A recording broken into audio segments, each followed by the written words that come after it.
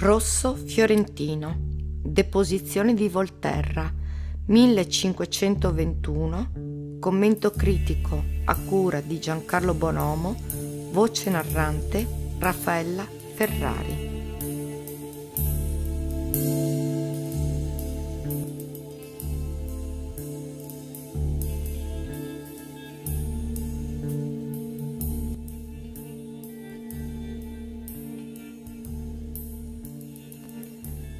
Una concitata e coinvolgente messa in scena teatrale, con una sceneggiatura a tema sacro.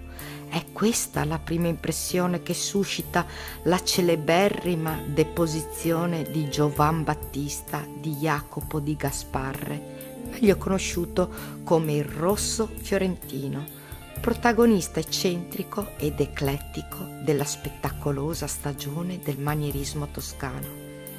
In quest'opera, firmata e datata 1521, il Rosso, in veste di regista esigente e fantasioso, inventa e dirige a suo modo l'episodio evangelico, sovrapponendo situazioni diverse nell'unico palcoscenico in cui si consuma la tragedia.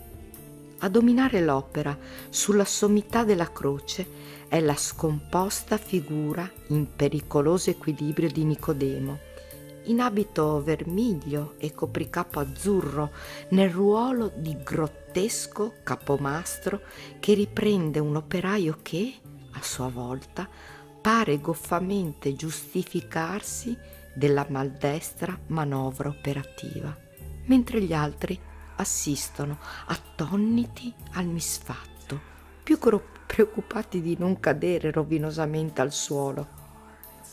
La parte superiore della pala è dunque l'aspetto pratico, diremmo profano, del tema sacro ed è qui che il rosso pare concentrare la sua attenzione, trasformando delle mere comparse in attori protagonisti. Il Cristo con il capo reclinato al cielo, presenta già il sinistro colorito della morte, mentre viene pietosamente abbracciato da un altro assistente. Lo spazio del dolore è riservato ai piedi dell'imponente croce. Qui troviamo un piccolo gruppo di pie donne, paludate in abiti vivaci ed eleganti. Sono le Marie, che la luce incidente rende simili a sculture viventi nella definizione netta e spigolosa dei volti e dei panneggi. La solennità del momento è spezzata dall'improvvisa eruzione della Maddalena, composta con acconciatura aristocratica e veste scarlatta che crolla in ginocchio dinanzi alla Vergine ormai già priva di conoscenza, col volto carezzato da una tenera ombra. L'assistente più giovane che regge la pesante scala, compresa la drammaticità del momento, rivolge uno sguardo compassionevole alle donne, quale commovente segno di umana partecipazione. Giovanni Evangelista, anch'egli elegantissimo in abito azzurro e manto color avorio, in preda ad un devastante travaglio emozionale, si allontana comprendosi il volto.